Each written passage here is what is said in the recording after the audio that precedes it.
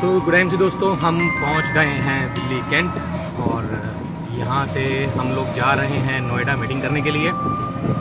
Live आने का कारण ये नहीं था कि हम लोग यहाँ पे हैं।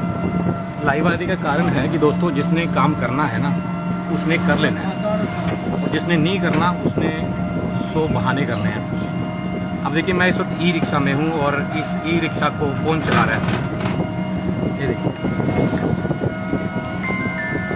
आंटी आपका नाम क्या है? मेरा नाम हाँ? वैसे ही लोगों को दिखा रहे हैं कि आप देखो इतने उम्र में आप काम कर रहे हो। मेरा नाम है वेरी गुड और आपकी उम्र कितनी होगी? तो देखिए दोस्तों उनचास साल की उम्र में ये महिला हो गए और मेहनत कर रही है अपने घर के लिए। और हम लोगों के पास हाँ जी? वुमेन एम्पावरमेंट हाँ वुमेन एम्पावरमेंट एग्जैक्टली लेकिन लेकिन यार ये भी देखो एक साहस का काम है। उनचास साल की उम्र के अंदर ये देखो ई रिक्शा चला रहे हैं और अच्छे ख- अच्छे खासे हट्टे कट्टे आदमी बड़े होते हैं।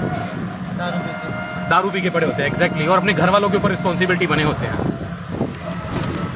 तो दोस्तों अगर आप लोगों के पास कोई काम है तो उसको अपनी शिद्दत से करिए।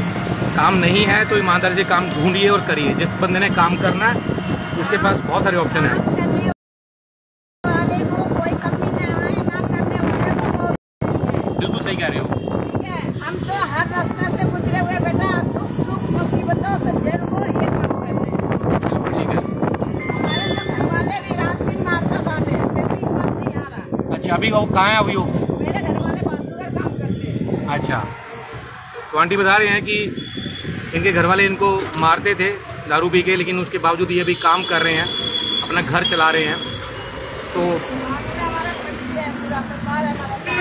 आपका परिवार साथ देता है। चलिए, बहुत बढ़िया। वेरी गुड ऐसे ही होना चाहिए।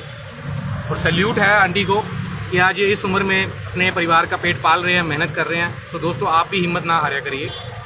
बहुत दिया ईश्वर ने बहुत दिया बहुत चीज़ें हैं। मेहनत करिए, आगे बढ़िए। Thank you good I M C good I M C